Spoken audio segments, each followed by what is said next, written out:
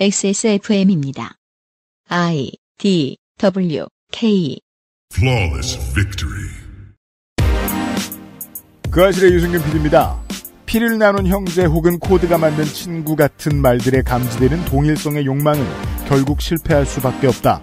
사람들은 근본적으로 같지 않기 때문이다. 각자의 상황과 자리가 다 다르기 때문이다. 한나 아렌트의 말입니다.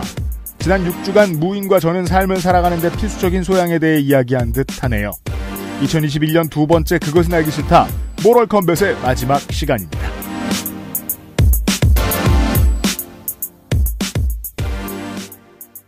윤세민 에디터가 지금은 앉아 있습니다. 네, 하지만 광고를 말씀드리고 사라질 거라서 지금은 할 말이 없네요. 그것은 알기 싫다는 hand wash와 all-in-one 수업도 역시 빅그린, 반려세제 깨끗한 생각, 이탈리아에서 온 케이크 라 파스티체리아, 실천하는 사람들을 위한 노트북 한국 레노버에서 도와주고 있는 그것은 알기 싫다 광고를 짧게 들으신 다음에 모럴 컴뱃 마지막 시간 확인하시죠. 확인하시죠.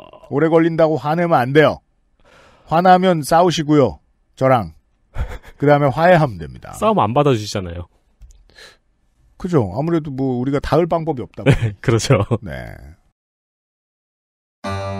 왜 그렇게 흘려 왜 나이 40에 먹는 대로 그렇게 흘리는 거 그리 흔한 거고 우리 딸은 또 어떻고 아침 먹은 거 점심 먹은 거 꼼꼼하게도 그려놔 그리고 어찌나 활발한지 엎어져서 피가 나도 울지도 않아요 레깅스 무릎에 핏자국 없었으면 자빠진지도 모르고 핏자국 그거 잘 지워지지도 않아 내가 무슨 빨래방도 아니 이 얼룩들 무슨 수를 이거 대체 어찌해야 돼?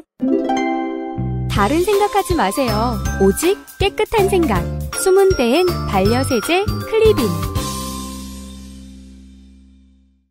투쓰리에서 hair loss까지 XSFM과 함께한 5년 빅그린이 자연에서 해답을 찾아갑니다. Big Green 건강한 변화의 시작 빅그린 헤어케어 시스템 오늘날 찾아볼 수 있는 가장 완벽한 비즈니스용 노트북 싱크패드 T 시리즈. 지금 바로 액세스몰 전용 특가로 구매하세요. Lenovo for those who do.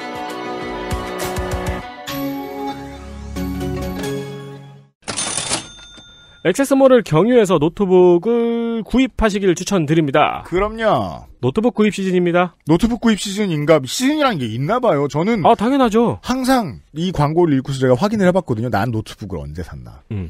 주로 8월 말쯤에 샀더라고요. 그게 왜냐면 이제 유, 유, 어렵게 확인했다. 유피디님의 노트북 구입 시기에는 노트북이 너무 비쌌고요. 그랬나 봐요. 네. 저 때만 해도 아카데미 세일이 있었죠. 아 그렇군요. 네. 어. 이제 지금부터 3월 초까지 음. 네 노트북 구입 시기고 또 이 타이밍에 또 태블릿 PC도 많이 팔리고요. 그렇답니다. 네. 대학생들 그리고 요즘에는 인강 때문에 음. 사실 중학생 고등학생들도 노트북을 구입을 하더라고요. 아하 예. 액세스몰을 경유하면 최대 20% 할인되는 쿠폰을 드립니다. 그렇죠. 저희가 이- 소문내지 않는 것이 좋은 쿠폰. 저희가 이게 유출되어서 곤란한 적이 있었죠. 네. 깎아주니까 그 당신만 깎아 사세요. 그렇습니다. 네. 널리 퍼뜨리시면 안 됩니다. 그 유출되면 곤란할 정도로 좋은 쿠폰입니다. XSFM2 2 숫자 2 네. XSFM2 레노버 쿠폰 코드를 입력하시면 가능합니다. XSFM 숫자 둘 LENOVO입니다.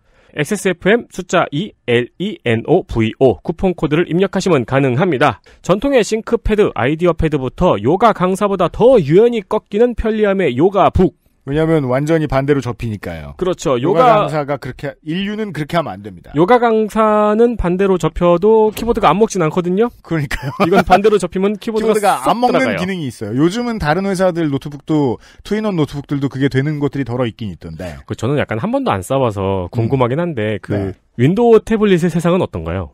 게임할 때 아주 좋고요. 그리고 다른 태블릿들이랑 마찬가지 저는 iOS 태블릿하고 윈도우즈 태블릿밖에 경험을 못 해봤잖아요. 네. 어, 하나 중요한 근거가 있습니다. iOS하고 마찬가지로 그 태블릿용 앱에 많이 적응을 해야 되거든요. 처음에 안 써보면 그게 좀 불편할 수 있는데 익숙해지면 iOS와 크게 다를 바 없는 편리함이 있습니다. 네.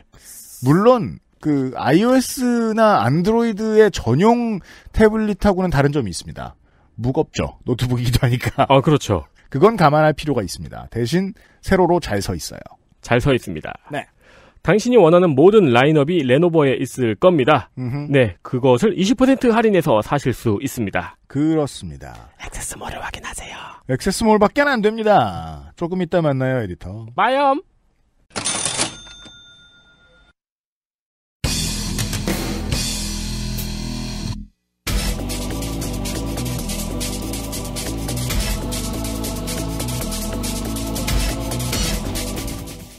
싸우면서 얻는 교훈.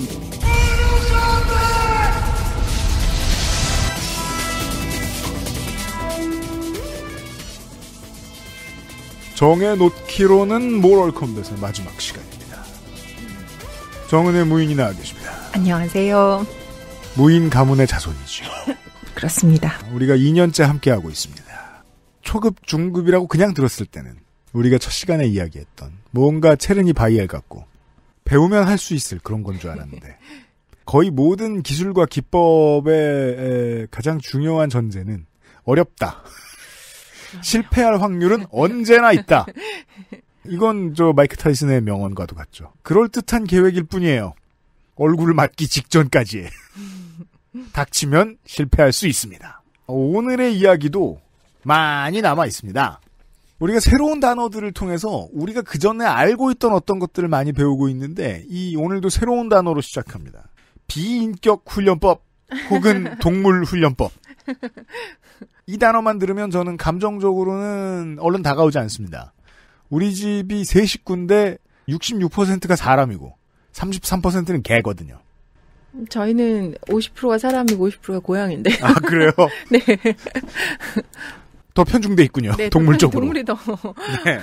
동물이 더 편중돼 있습니다. 이건 어떤 뭡니까? 뭡니까? 동물 훈련법이란.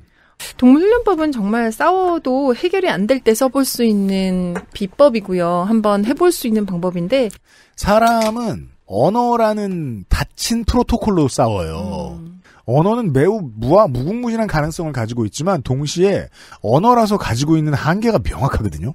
우리는 동물과 함께 살면서 반려동물과 함께 살면서 언어 바깥의 언어로 대화해야 돼요. 왜냐하면 제 언어를 모르니까. 네. 제 언어를 알기 위해서 다양한 신호와 기호들을 동원해야 되거든요. 그래서 소통을 하잖아요. 서로 배우고 서로 어찌 훈련하면서. 저찌.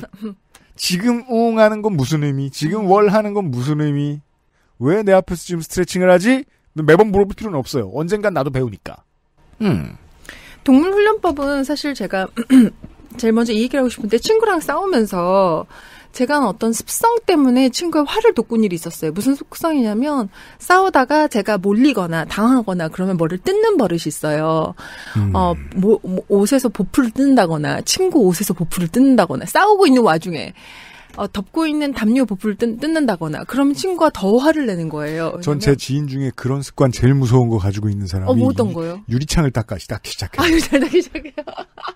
그러면서 화가 나 죄송합니다. 이러면서 유리창을 막 닦아. 그런데 무서워서 못 들이댑니다. 아, 유리창까지 아니어도 어떻게 저희 마을의 어르신들 같은 경우는 불편하시면 바닥을 닦는 사람들은 많아요. 이렇게 손으로 이렇게 먼지를 닦거나 뭐 이런 경우들이 있는데. 아 우리 옛날 어른들 보면은 그 부부싸움 하면서 바닥 닦는 사람들 많아요. 많아 이거 흔해요, 흔해 요, 흔해요. 그러니까. 그러니까 제가 자꾸만 뭘 뜯는 습관이 있다 보니까 친구가 싸우고 있는 와중에 회피한다고 생각을 하니까 더 화를 내는 거예요. 근데 나의 이런 습성을 가만히 들여다 보니까 이 침팬치의 그루밍 습관이랑 굉장히 비슷한 거죠. 그게 그러니까 뭡니까? 침팬치들이 싸우고 난 다음에 하는 행위 중에 하나가 회복을 하고자 나는 너의 적이 아니야 라는 메시지를 전달하기 위해서 서로의 몸을 그루밍하는 서로의 몸에 털을 가르면서 왜 벌레를 잡아주고 뭐 이런 아거 그렇죠. 있잖아요. 네.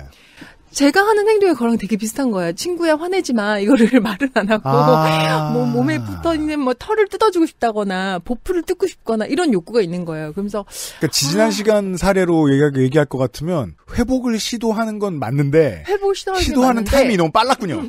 잘못했군요. 잘못했고 이게 말로 대화를 하기를 바라는데 제가 이미 동물적인 그루밍을 하고 있으니까 친구 입장에서는 너 지금 뭐, 뭔 짓이야 이렇게 되면서 싸움이 커지는 경우가 있었는데 예를 들어 뭐 한일 외교다. 한일 외교는 어떠한 주기를 가지고 이 양국이 모두 이제 독립국이 된 이후에 어, 싸웠다가 화해하고 싸웠다가 화해하고를 반복합니다. 근데 화해하는 타이밍을 잘못 잡으면 아 예. 어, 내부의 여론이 급격히 악화되죠. 아 맞아요 맞아요. 지금이 어딜 들러부터 그러게, 그러게.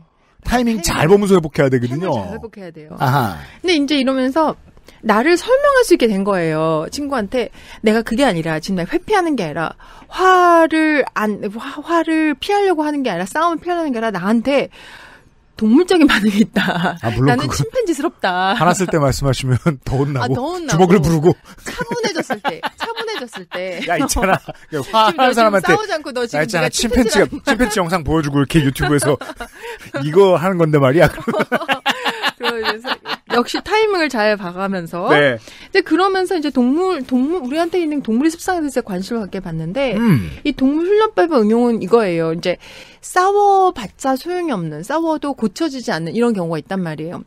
집안일 같은 경우 왜냐면 뭐 남편이나 아이나 부인이 맨날 빨래를 그냥 왜 뭐 뭐지 그 뱀 허물 벗듯이 벗고 그냥 간다거나 아 네. 바지 벗은 모양 그대로 놓고 가는데 이게 걸리는데 맨날 말을 해도 바꿔지지 않는다. 이런 얘기가 있다 쳐요.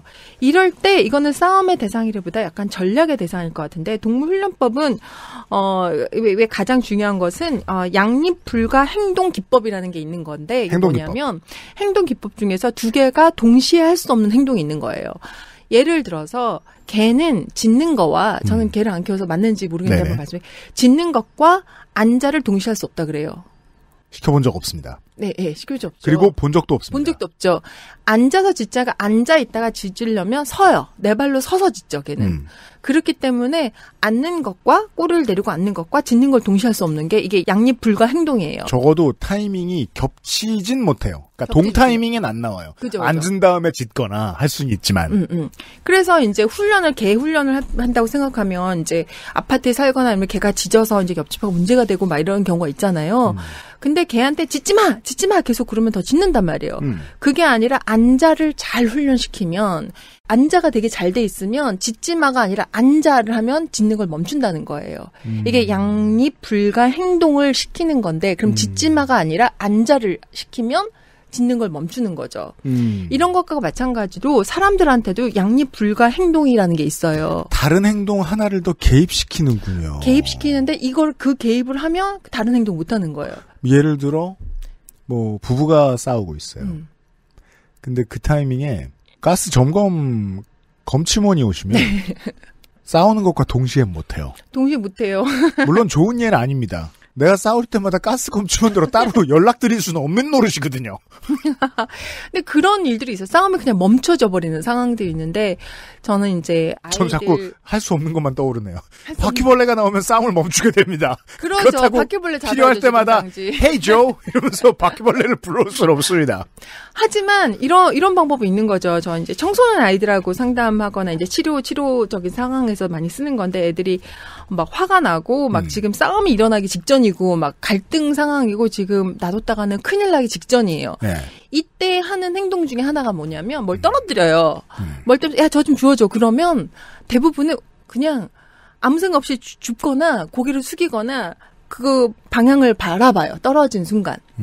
왜냐면 인간의 특징 중에 하나가 뭔가 날아가거나 뭔가 떨어지거나 하면 그거에 주의를 주의를 어 주의 집중을 하게끔 되어 있거든요. 그러니까 갑자기 일어나는 것에 주의가 확 바뀌는 거죠. 그걸 이용하는 건데 싸우고 있다라는 것은 되게 감정이 고조되고 있는 상황인데 그때 갑작스러운 어떤 일이 벌어지는 거예요. 그 갑작스러운 일은 뭔가 날아가거나 뭐가 떨어지거나 큰 소리가 나거나 그러면 그곳으로 어 그것을 쳐다보거나 죽거나 하게 되는데 그러면 싸우고 있던 그 에너지가 멈춰버리는 거죠. 이것도 쉽진 않을 거예요. 제가 근무했던 부대는 군공항 옆에 있었습니다. 음. 그래서 무슨 안 좋은 일이 생기고 막 이랬다가도 비행기가 지나가죠. 음. 그럼 거기를 보고 있어요.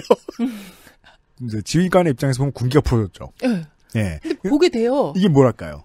신병의 입장에서는 갑자기 나타나는 자극이라 음. 감정 상태가 풀어질 수 있어요. 네. 근데 화가 난 지휘관은 맨날 보던 비행기잖아요. 아 그러면 안 되는 거죠. 맨날 보던 거니까. 경험 차이. 경험 차이. 이거 어떻게 극복하나요? 다른 거야죠. 뭐 그럼 날아가는 걸로 안 되는 거죠. 이래서 어려운 거죠. 아, 계속 연구해야 되네요. 연구해야 되네요. 지금 아하. 상황에 맞지 않는 어떤 일이 벌어져야 되는 거고 그 상황이 예측 불허한 것일 때 음. 에너지를 싸움을 어떤 갈등을 갑자기 뚝 끊어버리기 때문에 음. 한번 끊어지면 다시 그렇게 끌어올리기가 쉽지가 않거든요. 음. 에너지를 바꿔버리는 거죠.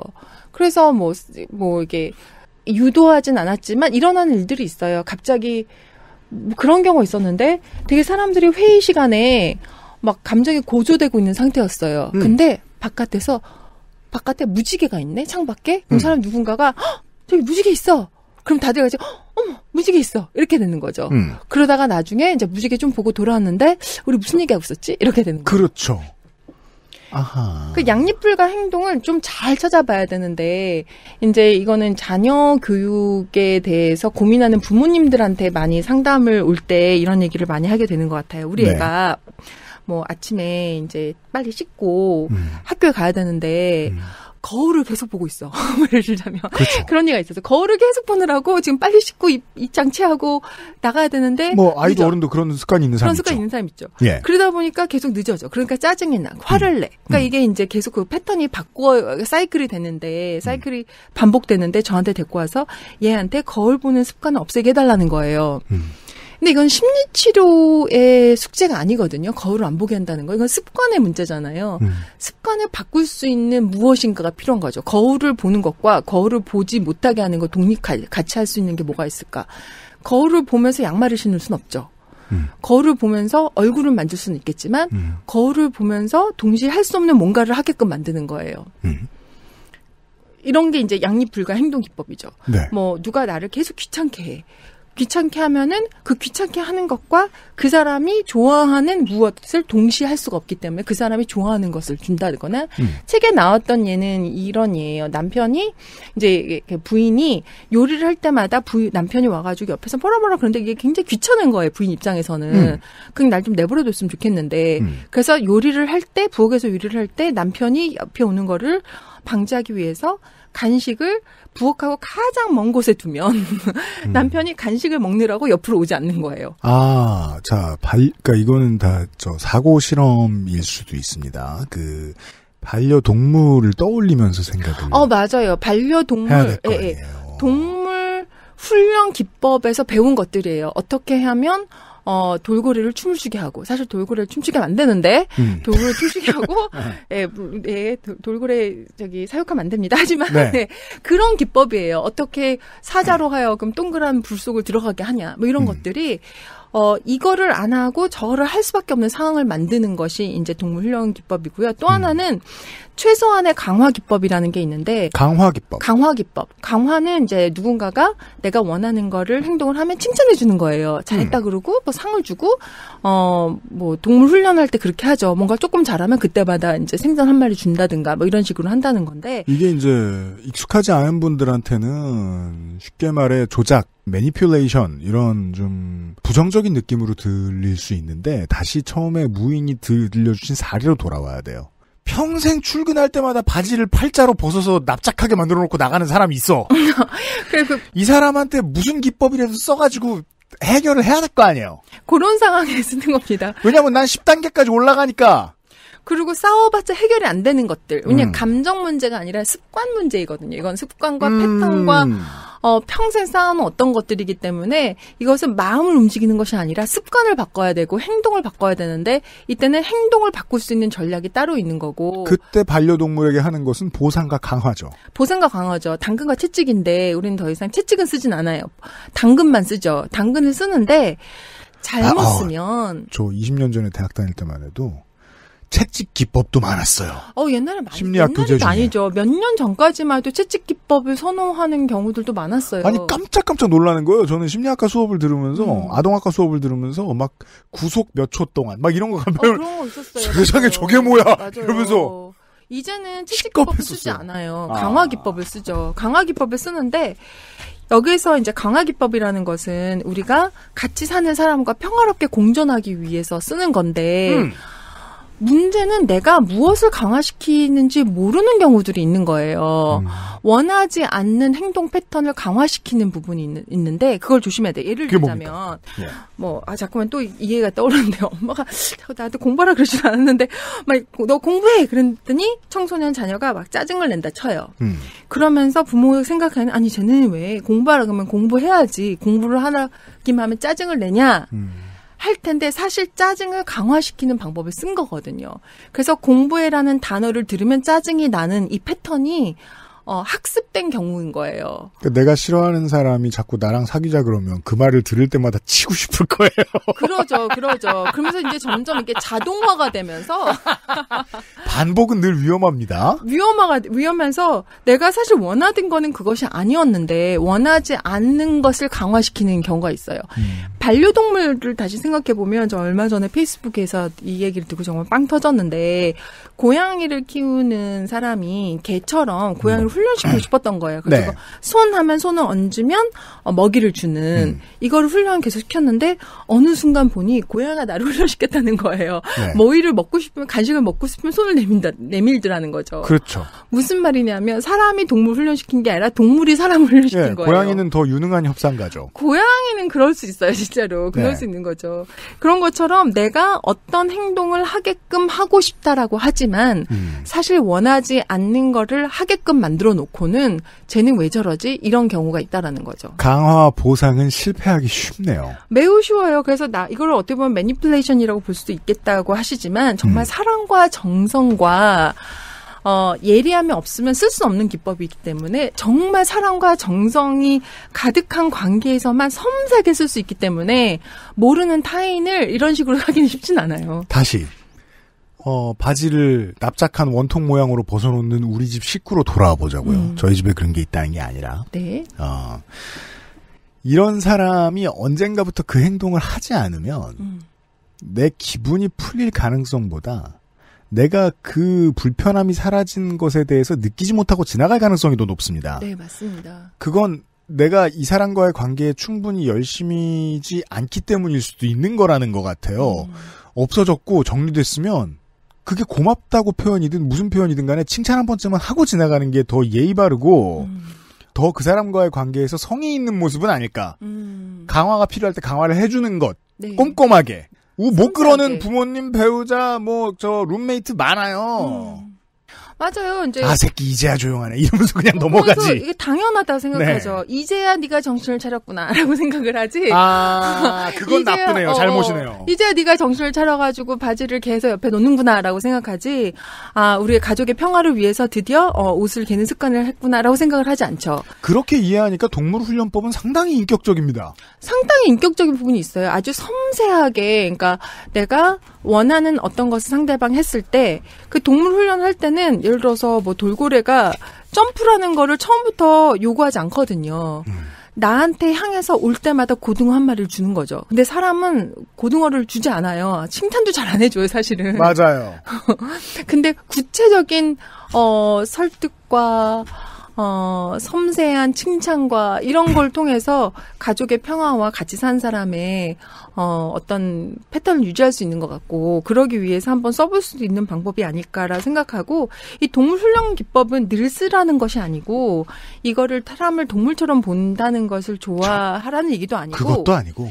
해결할 수 없는 문제에 계속 부딪히는 경우가 있어요. 어, 그러면서 늘 그렇죠. 늘 그래요. 그러면서 30년, 40년 동안 똑같은 걸로 싸워요. 저희 부모님도 그러셨는데 저희 부모님도 그러셨어요. 별것도 아닌 거고 진짜 30년, 40년 동안 똑같이 싸우시거든요.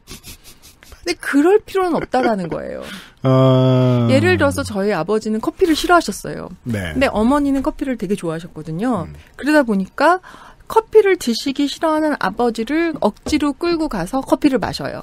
근데 아버지가 커피를 안 마셨으면 그게 빨리 끝났을 텐데 엄마가 억지로 마시게 하는 거를 한 모금 드셔요. 음. 그러니까 이 패턴이 반복이 되는 건데 이, 이 방법을 쓴다면 커피에서 한 단계 물러가 있다거나 아버지가 클리어한 사인을 줬으면 변화할 수 있었을 것 같은데 음. 50년 동안 같은 걸로 싸우시더라고요. 우리 동물 40년, 얘기 40년 하고 도 있습니다만 네. 가장 유명한 그 서커스단이 코끼리를 묶어놓는 방법이잖아요. 네. 어릴 때 묶어놓으면 똑같은 무게로 묶어놔도 자기가 빠져나갈 수 있을지를 모르는 맞아요. 경우가 대부분이다. 맞아요. 0.5cm짜리 벽이라도 쌓아놓으면 그걸 넘어가는데 100년이 걸릴 수도 있. 음. 그러지 말고 나는 쌍화차를 먹으면 안 될까? 요 한마디를 못해서 늙어 죽을 수도 있다. 음, 그러느니 음. 보상과 강화를 해보는 것이. 근데 생각보다 되게 대중적이고 자주 쓸 수 있을 것 같은 게 우리는 이 다섯 시간 동안 이야기해온 아, 영혼을 내걸고 너른 전장에서 룰을 다 지켜가면서 싸울 만큼 모두에게 그렇게까지 진심일 수는 없어요. 그러면 일찍 그럼요. 죽어요. 아, 그러지 못해요. 그래서 조건을 내주고 진심으로 지켜봐주고 고맙다는 말을 하고 이런 식으로 긍정적 강화를 하는 건 사회에서 늘 흔하고 뭐 가장 흔한 것은 우리가 겪는 것은 매일매일 보는 건 이제 직장 이죠. 음. 이게 됐으니까 고맙다. 음. 어떻게 했느냐, 얼마나 고생스러웠느냐, 힘든 건 없느냐, 이런 식으로 뭐 동료나 상사가 물어봐준다. 음. 칭찬해준다. 그러면 강화가 될 거예요. 음.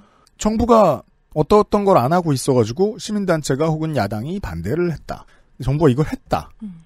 그러면 치하하는 과정도 필요해요. 어, 어떤 공무원이 이런 걸? 혹은 어떤 의원이 이런 안을? 근데 그런 거 진짜 안 하죠. 그죠? 예, 어떤 지자체가 어떤 조례를? 음. 이렇게 해서 이런 게 좋아졌구나. 근데 긍정적 강화는 음. 우리가 했던 데 답이, 얘기했던 데 답이 있네요. 지켜보려면 상당히 성의가 있어야 되네요. 매우 성의가.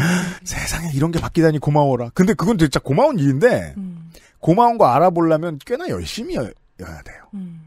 함정이군요, 이것도. 이것도 좀 어렵네요. 진짜 열심히 봐야 되고, 그러니까 제가 아까 그 예를 들었잖아요. 아이가 거울을 잠깐 보느라 학교에 늦는 것 때문에 짜증이 나가지고 가족이 불화가 돼서 상담을 받으러 오는 경우에 사실 이거를 강화 기법을 쓰겠다고 생각을 한다면 어, 내가 무엇을 강화를 하고 있는지 사실 강화는 우린 다 하고 있어요. 그러니까 강화 기법을 쓰는 거에 대한 부정적인 견해가 물론 있을 수 있는데 제가 하고 싶은 말은 우리는 다 서로를 강화하고 있는데 맞아요. 이것이 정말 어떤 부분을 강화하느냐, 저 사람의 짜증을 강화하고 있는 거냐, 저 사람의 불만족을 강화하고 있는 거냐, 저 사람의 행복과 만족을 강화하고 있는 거냐.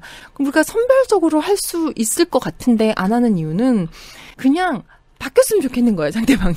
맞아요. 그냥 좀 그만뒀으면 좋겠고, 내 마음대로 했으면 좋겠고, 맞아요. 내가 원하는 대로 했으면 좋겠는데 왜 쟤는 안 하냐 이러면서 싸우는데 열심으로 갖고 정성을 갖고 들여다 본다면 왜 내가 아무것도 안 하는데 저 사람이 내 마음대로 내가 원하는 대로 해야 되는가를 생각해 볼 수도 있죠. 고등어 한 마리라도 줘야 될 거 아니에요. 나는 계속 불평불만인데, 음. 왜 저쪽이 먼저 바뀌기를 나는 희망하고, 혹은 계속 떠들고 있지? 계속 떠들고 왜 안 바뀌냐고 불평 불만과 나중에는 막 화를 내고 억울해하고 막 이러는데 그러네요. 긍정적 강화더러 매니플레이션이라고 할 수 없는 게, 그렇게 말할 사람들은 평상시에 부정적 강화를 일삼고 앉았네요. 아마 그럴걸요. 부정적 강화를 굉장히 많이 하고 있을 거예요. 내가 화를 내므로써 또는 짜증을 내므로써 어, 상대방한테 미치는 영향이 분명히 있는데 음. 화가 싸움을 한다는 것은 내가 상대방이 미치는 영향, 그 사람이 나한테 미치는 영향을 까놓고 보는 거거든요. 네. 근데 까놓고 보지 않고 너는 왜 내 마음대로 내가 원하는 대로 내 나의 욕구를 충족해 주지 않니라고 혼자 일방적으로 화를 내고 있다면 음. 어 뭔가 강화를 하고 있을 거예요. 그리고 제가 아는 그런 사람들은 보통, 아까 말씀드린 대로, 해결되면 또 지나가요. 해결되면 지나가. 그럼 해결되면 당연하지. 그러면 또 자기 간성대로, 다음번에 모트집 자체 그거 찾고 있습니다. 어, 그러죠, 그러죠, 그러죠. 만족 못하다 일찍 죽어요. 그 본인이 불행해요. 네, 맞아요. 사람들은 당연히 내 맘대로 안 되고요. 나도 내 맘대로 안 돼요. 그래서 좀 적극적으로 뭔가 해보는 그런 방법을 한번 제안해 봤습니다. 오늘의 두 번째 어, 새로 배울 단어는 축지법입니다. 네. 축지법. 왜 이런 걸 집어넣으셨습니까? 어, 저 일단 무, 무술 용어를 굉장히 아, 좋아하고요. 그, 그러게 말이에요. 네. 정말 어디 쓰- 어디 쓸 수 있을지 막 시, 그 호시탐탐 기회를 노렸고요. 네, 이 책에서 보시는 대로입니다. 이게 흰띠로 들어가서 검은띠로 나옵니다. 네, 흰띠로 나와서 검띠로 나오고 도장에 들어가가지고 일단 일단 도복부터 메고 네. 싸우고 그 다음에 정중하게 인사하고 그 싸움판을 나오는 이 순서를 갖고 있기 때문에 축지법을 언제 쓸까 되게 어, 기회를 노렸죠. 네. 왜냐하면 이 책에서 이렇게 소개하고 있거든요. 싸움의 기술에서 최고의 정수 가 축지법이랍니다. 아, 네. 축지법은 어, 이런 부제를 갖고 있어요. 이도 저도 아닌 다른 곳으로 간다. 싸우다가 많은 거예요. 싸우다가 다른 프레임으로 가는 것인데 프레임의 변화, 그러니까 내가 보는 어떤 관성, 내가 갖고 있는 믿음, 내가 갖고 있는 패턴 이것을 넘어가 버리는 건데 이건 음. 정말 고수의 길인 것 같아요. 자, 이걸 제가 이해하면 성공했다 하겠습니다. 제가 이제 축지법에 대해 생각해 보면 이 이 책, 이 싸움의 기술 책에 저한테 영감을 끊임없이 주는 저희 아버지 무술 진정한 무술인이 생각이 나는데 아버지가 진짜 최고셨어요. 그래서 어, 어, 부부 싸움을 하고 있는데 엄마가 막 화를 내고 있어요. 아빠한테 막 이렇게 와다다다 하고 있는데 아버지는 엄마를 지그시 쳐다보다가 네. 갑자기 눈꺼풀을 이렇게 뒤집어서 보면서 눈에 희나를 쳐다보시는 거예요. 갑자기 이게 무슨 일인가 싶잖아요. 음. 그래서 아빠가 엄마 눈을 가만히 보고 있다가 손을 앞뒤로 보고 하시면서 하시는 말씀이 여보 간이 좀 안 좋구나. 우리 간에 좋은 것 좀 먹자 이러시는 거예요. 그건 닥터 하우스가 할 말.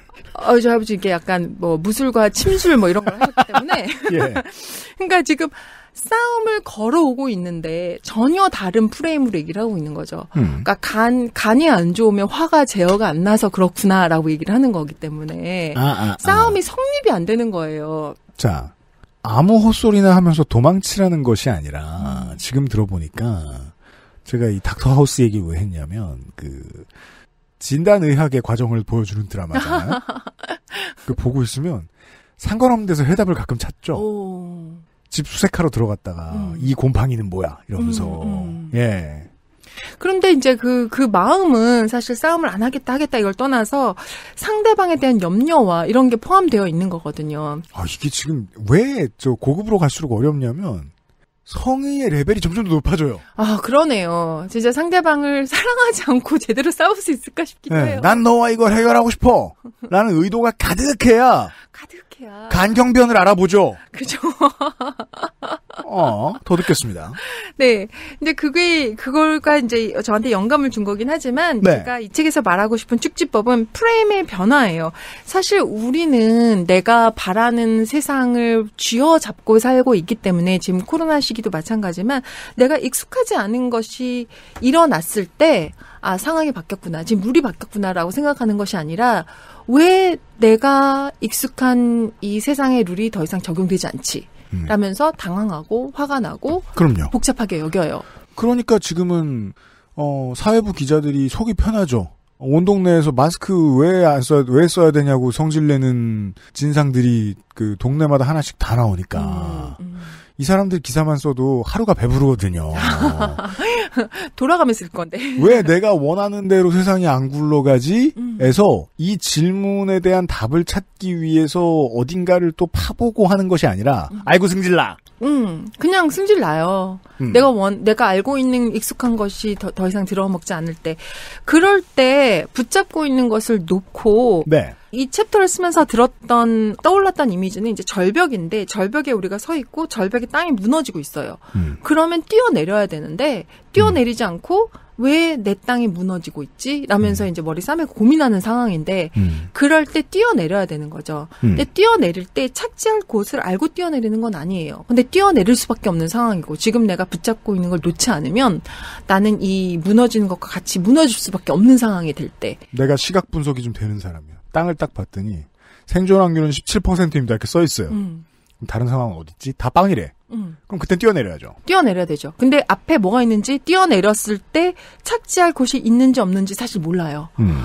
하지만 그래도 뛰어내려서 어딘가 착지하거나 뭐 물에 뜯다 떨어지거나 이게 생존 확률이 더 높은 상황인데 무슨 말이냐면 더 이상 내가 알고 있는 방법이 들어먹지 않고 음. 내 세상의 룰이 맞지 않고 이럴 때는 그냥 과감하게 내가 알고 있는 룰을 벗어 던지고 어, 뛰어내려서 다른 곳에 착지를 해야 되는 거죠. 연인들끼리의 싸움에서 그 절벽을 얼굴에 쓰고 나오는 표정을 이제 제가 당사자가 아니라고 하더라도 이 젊은 사람들 많이 다니는 거리에서 지나가다 딱 보면 그 표정을 내가 20년쯤 전에 했을 표정을 딱 하고 있는 젊은이들을 볼 수 있습니다. 허허 이런 이걸 어떻게 절벽이구만. 절벽이구나. 끝이구나. 여기서. 다른 해법이 전혀 없다는 생각이 들 때에 오는 좌절감. 네. 예, 그럴 때 있어요. 그러느니 어딘가로 갑자기 순간 이동해야 하지 않느냐. 네, 맞습니다. 뭡니까 이게 대체 여전히. 뭐 아주 쉬운 예로는 이거예요. 예를 들어서 뭐 가장 흔히 싸우는 뭐 문제를 생각을 해본다면 뭐 설거지 때문에 싸운다 쳐요. 네. 너는 왜 설거지를 안 하니? 너는 왜 하니? 설거지 이게 설거지니? 왜 설거지를 했는데 뭐 싱크대를 안 닦았니? 뭐 이런 사소한 것 때문에 싸움이 일어나는 예는 매우 매우 많습니다. 같이 사는 사람들 사이에서. 그럼요. 근데 이걸 해결하려고 노력을 해요. 근데 나중에는 이게 설거지 싸움이 아니라 왜 너는 나를 존중하지 않니? 이러면서 이제 이 커집니다. 그리고 커져요. 내가 그렇게 싫어하는 거를 왜 지금까지 하는 너의 어 마음 속의 이유가 뭐냐 이러면서 너는 그렇게 배웠냐부터 해가지고 그 집안 문제가 되고 커져요. 내 마음 속에 풍계리를 남겨둬요. 아 굳이 여길 열어줬는데 어딜 다른 데를 볼라 그래. 지금 그냥 설거지에 대해서 얘기하고 있는데 북한의 입장이 떠오릅니다. 전 지금. 북한의 입장에 떠올라. 네. 그래서 점점 이게 이제 커질 때 음. 과감하게 싸움의 장에서 뛰쳐나와야 하는 상황이죠. 예를 들자면 뭐 이런 거예요. 설거지를 과감하게 포기하는 거예요. 뭐 그릇 다 없애고 음. 식판을 쓴다든가 음. 뭐, 뭐, 뭐 예를 들어서 한 사람 한 사람당 그릇 하나만 쓴다든가 아니면 설거지를 뭐 아웃소싱을 한다든가 뭐 식기세척기를 산다든가. helper, 식기세척기, 식판, 식판 등등등. 등등등. 아니면 뭐 밥을 안 먹는다든가. 모르겠는데 우리가 갖고 있는 싸움이 일어나는 그 상황을 없애버리는 거예요. 예를 들어서 protein 바 등등. 프로틴 밥, 뭐, 네. 예, 그, 아예 어, 과격한 방법을 쓰는 거, 뭐, 이불을, 뭐, 다른 걸로 뭐가 있을까요? 이불을 안 개는 것 때문에 문제. 너는 왜 이불 안 개냐? 뭐, 이불을 개야지 사람이 성공한다더라. 뭐, 이런 얘기 혹시 들으셨어요? 저 많이 듣고 자랐는데, 이불을 왜 개야 되는지 모르는 사람과 이불을 꼭 개야 되는 사람이 이불 때문에 계속 싸운다 쳐요? 저는 혼자 살때 음. 침낭을 썼죠. 바로 그거예요. 이불을 없애는 거예요. 스스로와 싸우다가. 침낭. 침낭을 쓰는 거죠. 근데 이제 문제는 있었습니다. 음. 침낭으로는 연애를 할 수가 없어서 침낭 연애할 수가 없죠. 침낭을 열어야 되는데. 참 이게 들어와 따뜻해 이럴 수가 없잖아. 그러네요. 이 그 축지법은 아까 네. 말씀드렸듯이 무너지는 땅에서 뛰어내려서 착지하는 곳이 꼭 좋다라는 그 보장은 없어요. 하지만 리스크를 걸어야 할 때 리스크를 걸어야 할 때 이 시스템을 바꾸는 거예요. 자, 착지법은 내 땅을 바꾸는 거죠. 내 땅을 바꿔서 이 문제가 일어나는 그 곳을 없애버리는 거예요. 아주 좋은 사례예요. 결국 성패는 성의에서 갈립니다. 음, 성의가 없이 똑같은 방식을 취하면 질 수 있습니다. 그럴 수 있어요. 다만 이제 들려주신 사례로 이렇게 생각할 수 있겠죠. 설거지 문제로 뭐 5년을 싸웠다. 그랬을 때 이제 둘이 막 열심히 싸우다 말고 음, 식기세척기 살게 내가 음, 라고 했을 때 저쪽이 어, 회피하는 걸로 받아들이면 음, 그건 눈치를 보면서 다른 이유가 있겠구나라고 생각하면서 다르게 접근해야 될 것이고 음, 음, 음. 그게 아니고 아 내가 이걸로 진짜 힘들었는데 나를 이해하려고 뭔가 리스크를 걸고 다른 시도를 해보는구나라고 상대방도 이해를 했다면 음. 평화가 찾아올 수 있겠네요. 그럴 수 있죠. 이거는 약간 리스크가 어떻게 될지 모르는 길이기도 해요. 근데 그러네요. 다른 싸움으로 움직일 수 있고요. 싸움에 그냥 없어질 수도 있어요. 근데 나머지 선택지가 다 0%에서 1%라고 생각하면 가야 때, 돼요. 그렇죠. 그렇죠. 아. 지금 내 땅이 무너지고 있는데 내 땅은 무너지는 걸 붙잡고 있을 땐 소용이 없어요. 그럴 때는 점프를 하는 거고 그 다음 단계로 넘어가서 그때 그 고유의 싸움이 있는데 뭐 다른 예로 이런 이제 친한 언니한테 들었던 얘기인데 어뭐 생수 생수통을 누가 가냐 이거 갖고 맨날 싸운단 말이에요. 음. 그러면 이제 비슷한 예로 이거 생수를 없애고 그냥 수돗물 마시는 거예요. 근데 말씀하신 것처럼 싸움을 끝까지 해보지 않고 여러 가지 옵션을 충분히 재지 않고 그래 우리 생수 마시지 말자. 그냥 수돗물 마시지 뭐. 그릇 다 없애. 뭐, 뭐 이불 쓰지 말고 침대 자지 뭐. 이러면 되게 화가 날 수도 그건 있어요. 축지법이 아니라 이중 구속이죠. 이중 구속이죠. 그래 이중 구속이네요. 그건 이중 구속. 정말 음. 내가 침낭을 쓰고 싶다는 게 아니라 그래 너 그렇게 나와? 그러면 내가 이렇게 할게. 음. 어쩔래? 이렇게 나오는 건 굉장히 비겁한 방법이고 음. 충분히 여러 여러 옵션을 했는데 전혀 답이 안 나올 때는 상황을 바꿔서 상황을 바꾸고 땅을 바꿔서 그 문제가 아닌 다른 곳으로 가는 거죠. 노동의 형태가 다양해지면서 노동쟁의의 형태도 다양해지고 해석도 힘들면서 웃는 것이 이제 사측 노무팀입니다. 이것은 노동법에 없으니까 이런 것들을 적용시켜 드릴 수 없습니다. 청취자 여러분들은 다 들으셨고 무인은 못 들으셨으니까 무인을 위해 설명을 드린다면 예를 들면 뭐 라이더나 대리운전 기사 같은 특수고용 노동자 음. 내가 자영업자인데 오늘 영업을 하다 사고가 났는데 나의 고용인은 저 플랫폼의 사장님인가? 아니면은 오늘 나를 부른 손님인가? 근데 사장님이 있어야 노동자가 있다는 건 잘못됐어요. 그래서 그걸 아 역이용해가지고 이제 사측에서 유리하게 보험도 안 내주려 그러고. 여기저기서 시비가 많은데 그 길은 안 가봤지만 그러면 고용보험을 전 국민한테 확대하는 건 어떨까? 하고 리스크를 확. 청와- 청와대가 올해 그걸 했죠. 예, 우리 지난주 그 우리 저 지난달 스타카데미에서 청취자 여러분들 들으셨다시피 어, 노동법을 그냥 전 국민이 적용받게 하는 방식으로 바꾸자. 라는 이야기를 했습니다. 어, 부작용이 있을 수도 있는데 지금처럼 모두가 어, 여기저기 현장에서 다른 문제가 생기고 개고생하는 것보단 나을 수도 있지 않을까? 다른 거 다 안 됐는데 여기 한번 가보면 어떨까? 뭐 다른 고유의 문제가 있을 수는 있겠지만 이 지루한 싸움은 그만둘 수 있을 거예요. 이 지루한 싸움은 그만두고 좀 새로운 마음으로 새롭게 싸울 수 있겠죠. 때로 그런 궁금증이 있단 말이에요. 이게 사회가 사회와 싸우는 거든 사람이 사람과 싸우는 거든 지금 우리가 싸울 수밖에 없는 어떤 우리를 매니플레이션 하는 손이 혹은 환경이 있는 건 아닐까? 음. 그 환경을 깨보면 어떨까? 어, 맞아요, 맞아요. 좋은. 여기로 넘어가지 못 할 수밖에 없는 사람들이 있어요. 그러면 층간소음으로 살인사건이 나고 맞아요. 주차 문제로 폭력사고가 발생합니다. 주차장을 뭐 늘리는 공사를 합시다라고 집주인하고 얘기를 한다든가 집주인한테 항의를 한다든가 계약서를 새로 쓴다든가 근본적인 원인을 한번 해봅시다. 멀리 돌아가 봅시다. 음. 근데 멀리 돌아 안 가죠. 왜? 나는 그만큼 내 집을 사랑한다거나 내 주차 공간을 사랑하지 않거든. 그렇죠. 충분한 성의가 부족하다. 성의가 부족하고 또 나와 너의 문제로 국한돼서 얘기하니까 너 때문에 내가 화가 나고 나는 너 때문에 이렇고 이런 식으로 계속 집중이 되니까 그게 더 시스템을- 쉽네요. 그게 더 쉽죠. 시스템을 바꾸는 게 훨씬 더 어려워요. 네. 시스템을 바꾼다는 것은 너와 나가 좀 합의해야 되는 부분도 있는 거고. 근데 어떤 문제 앞에서는 시스템을 바꾸는 것밖에 답이 없는 경우들도 많이 있고요. 아까 예에서 거울을 뭐 너무 오래 봐가지고 계속 뭐 늦어서 갈등이 생긴다?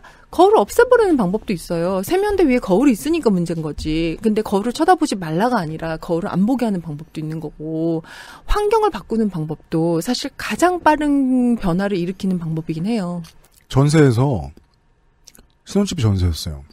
저는 이제 그때 그것은 알기 싫다가 한 주에 한 번인가 두 번밖에 방송을 안 했고 널널했어요. 집에서 살림을 충분히 할 수 있었어요. 근데 저녁을 해놔도 아내가 늦게 오니까 밥이 식어요. 네. 퇴근하는데 한 시간에서 한 시간 반이 걸리니까 녹초가 돼 있어요. 네. 일찍 잡니다. 네. 이렇게 살다 보면 싸우기도 자주 싸울 수 있을 것 같고 싸워도 답을 못 낸 채로 피곤해서 잘 것 같아. 맞아요. 피곤하니까. 그, 그 고민을 몇 개월간 하다가 냈던 답은 월세를 내도 좋으니까 회사 근처로 가자. 였거든요. 네. 그리고 그 문제는 실로 아무 일도 아니었던 것처럼 해결됐던 그죠. 기억을 가지고 맞아요, 있어요. 맞아요. 좋은 예예요. 그때 제가 그렇게 설득했었거든요. 어, 이러이러한 문제, 피로, 뭐, 뭐, 지하철에서의 피로, 뭐, 어쩌고저쩌고 나쁜 음. 일들, 그것 때문에 생길 수 있는 스트레스, 이거를, 어, 반전세로 가서 이 정도 월세로 막는 건 아주 좋은 소비다. 음. 이렇게 설득했었거든요. 네. 다른 나쁜 일이 생겼을지도 모르죠. 아주 운 좋게 안착했어요. 음. 아하, 기억났습니다. 그런 그런 좋은 예예요. 사실 이게 어 상황을 바꾸면은 그 이 전 상황에서 있었던 모든 것들이 그냥 다 한꺼번에 다 사라지는 음. 이게 이제 축지법의 아 방식이고 축지법은 위험이 있고 네. 어, 어디로 갈지 모르고 하지만 지금 상황을 탈피할 수 있는 그런 방법이라고 생각되고 창의적인 아, 능력이 조금 필요한 것 같아요. 창의적이어야 돼요. 왜냐하면 음. 어떤 싸움에 임할 때 우리는 너가 죽거나 내가 죽거나 내가 이기건 네가 이기거나 이런 이 양립적인 싸움을 계속 하게 되는데 축지법인데도 그렇고 다른 여러 방법도 그렇고 이 양립이 아닌 다른 방법을 생각하는 방법이거든요.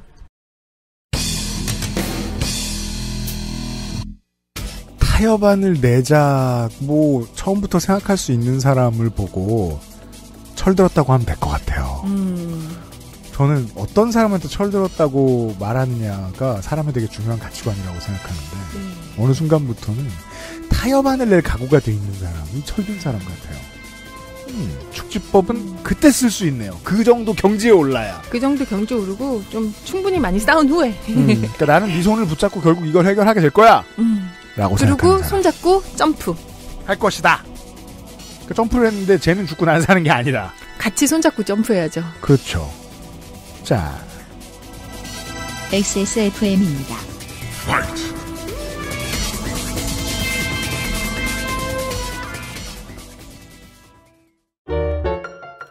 낯설은 만큼의 기대감. 이탈리아에서 온 케이크 라 파스티체리아. Maestro pasticcere. La pasticceria. 지루성 두피염이라 가렵고요. 머릿결은 푸석푸석하니 엉겨붙어요. 게다가 이젠 머리카락까지 많이 빠지니까 너무 불안한 거 있죠? 샴푸 아무거나 쓸 때는 이미 지난 것 같고 좋다는 거 많이 써봤는데 글쎄요. 뭐 없을까요? 빅그린 헤어로스 샴푸요. 구스베리 추출물로 모근을 더 건강하게 자연 유래 성분으로 자극 없는 세정력 뛰어난 보습 효과와 영양 공급까지 Big Green 이젠 탈모 샴푸도 빅그린 hair loss 샴푸. 글로벌 판매량 number one 노트북 브랜드 레노버에서 gaming 노트북을 제작한다면 프로게이머를 위해 최적화된 Legion Y 시리즈를 XS몰에서 확인하세요. Lenovo for those who do.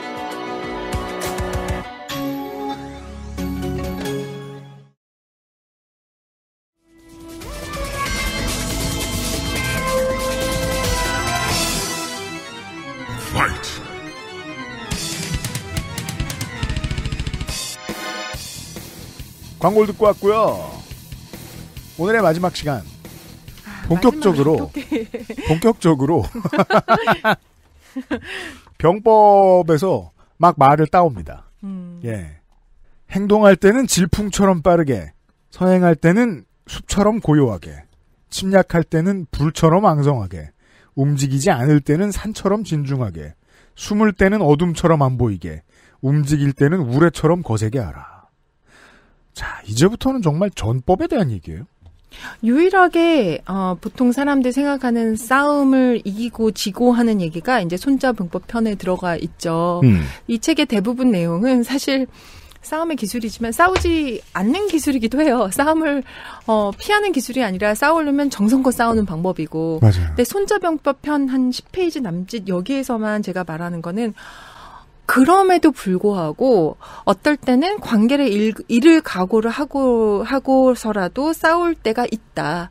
그럴 때 어떻게 할 것인가에 대한 얘기를 하고 있어요. 때로 걸죠.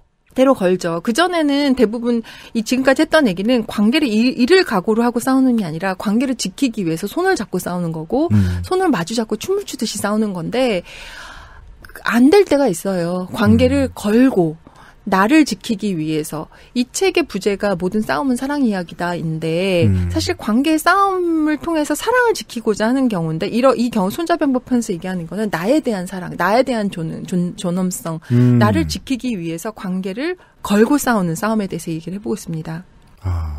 그죠. 와, 이거는 진짜 고수의 영역. 물론 누구나 한 번쯤 해봤을 수 있습니다만, 나를 지키기 위해서 어쩔 수 없이 이 관계를 잃기로, 혹은 잃을 가능성이 충분한 어떤 선택을 하기로. 그럴 때가 살면서 많지는 않지만 한두 번씩 혹은 날 그런 사람들이 거예요. 있습니다만, 그러거나 그런 사람들 좀, 자, 그렇게 좀 문제가 있죠. 관계를. 그런 경우 말고, 매번 관계를 거시는 그런 분 말고, 관계를 지키는 것을 근본적으로 하시고자 하는 분들 중에서, 사실 놓아야 될 관계를 놓지 못해서, 끝까지 가다가 내가, 어, 굉장히 다치는. 더 망가집니다. 더 망가지고, 더 이상해지고, 놓을 땐 놔야죠. 사실 놓지 못하는 이유가 관계 안에서는 내가 놓았다고 해서 그냥 사라지는 것이 아니라 맞아요. 놓을 때는 그 사람과 그 관계가 어, 주는 달콤함, 달콤함과 안락함과 기쁨과 안정감 이런 것까지 놓아야 되는 거거든요. 피해가 있고 어, 희생해야 되는 게 있고 놓아야 되는 게 있기 때문에 우린 그래서 사실 저 사람이 마음에 안 들지만 잡고 있는 경우들도 되게 많은데 놓기로 마음을 먹으냐면 어, 그런 안락함, 달콤함, 편안함까지 놓는 거죠. 그걸 통해서 저는 이제 싸움을 통해서 우리가 사랑을 증명한다 이런 얘기를 하고 있어요. 그래서 싸움과 폭력과 사랑이 어떻게 연관이 돼 있는지 이런 얘기를 하면서 사실 제가 좀 되게 놀랐고 알랭도 보통 얘기하시면서 MC 선생님도 그렇게 얘기하셨는데 그런 호칭은 처음입니다. 예. 네. 그 말이 이상하네요. 뭐라 불러야 되지? 동의합니다. 아까부터 단어 선택은 하수인 것으로. 아, 예. 단어 선택가 제가 진짜 약합니다. 네, 죄송합니다. 네. 그럼에도 불구하고 싸움을 통해서 나와의 사랑을 증명하고 내가 나의 어, 가장 친한 친구이고 내 편임을 스스로한테 증명할 때가 있는 거죠. 그럴 때는 정말 용기 있게 해야 되는 것 같아요. 나는 나를 보호할 수 있다는 믿음을 나한테 줄 필요가 있죠. 어, 매우 중요하고 그 그래야 믿음을- 남을 보호할 수 어, 있고요. 네, 맞아요. 그 믿음을 저버리는 사람은 사실 스스로한테 굉장히 적이 되기도 쉽고요. 나를 가장 위협하는 존재일 수도 있고, 나를 무시하는 존재일 수도 있고, 나하고 친하지 않은 사람이 될 수도 있을 것 같아요. 우리가 이제 그, 그, 못되게 사는 사람들이 흔히 얘기하는 내가 딴 건 몰라도 약쟁이랑은 친해지지 않는다 이런 의미인데요. 나를 지킬 능력이 없거나 나를 버리는 걸 이렇게 밥 먹듯이 하는 사람들. 내가 그렇게 되면 안 되니까. 그렇게 되면 안 돼요. 그렇게는 안 되고 두 발을 땅에 탁 디디고 어 어떨 때는 싫다라고 말을 할 수 있어야 되고 음. 어떨 땐 나는 나를 보기 보내- 보호하기 위해서 너를 어 보낸다라고 말을 할 수 있어야 되는 것 같고 음. 그럴 때 어 필요한 능력이 이런 것 같아요. 그 상대방이 주는 그것이 없어도 나는 온전하고 나는 나 조- 잔재 나 나 자체로 어 온전히 존재할 수 있다라는 믿음 같은 게 필요하고 이런 연습도 좀 필요한 것 같아요. 그 이별과 단절의 후유증이 길다는 게 자랑이 아니잖아요. 근데 당연하죠. 이별가 당연한데. 에에에에. 네. 근데 평생 곱씹으면서 살 필요는 없어요. 남은 인생한테 큰 잘못이죠. 아 그러죠. 그리고 앞으로 만날 사람들한테도 좀 잘못이고. 그렇잖아요. 막 늘 그늘이 있고 막 네. 그리고 맨날 막 노래하고 막. 노래는 뭐예요? 네. 아니 그뭐 이별하는 노래들 보면 진짜 음. 좀 듣기 싫은 가사들이 좀 많아요. 그게 이제 10대들이 좋아하는 가사에는 그런 게 존재하는 게 전 당연한 것 같아요. 어, 집착은 하고 성의도 있고 방법은 모르고 그걸 노래하면 멋있어 보이거든요. 예. 아, 나이 먹어서는 근데 스스로를 지켜야 되겠다. 스스로를 지킬 때 근데 제가 이제 어 이런 훈련을 사람들한테 시킬 때가 있어요. 뭐냐면 싫어요라는 말을 가르키는 건데 싫어요라는 말을 너무 잘하는 사람이 있고요. 정말 못하는 사람이 있어요. 어 놀라울 정도로 못하는 사람이 있어요. 그냥 상담에서 그냥 연기일 뿐인데 연기일 뿐인데 제가 무슨 말을 하면 싫어요라고 대답을 해보세요. 그리고 말도 안 되는 걸 막 말해요. 그럼 싫어요라고 대답을 해야 되는데 싫어요라는 말이 잘 안 나오는 거예요. 제가 모임과 방송을 하면서 두 번째로 이 얘기를 해봅니다. 제가 이 방송을 하는 이유가 있는데요. 평소에 싫어요란 말을 해본 적이 없어요. 음. no를 거의 못해요. 어, 살면서 기억에 남는 no가 한두 번 정도 있는데 그것 빼고 확실한 no를 해본 적도 별로 없어요. 미디어 일을 하면 no가 편해요.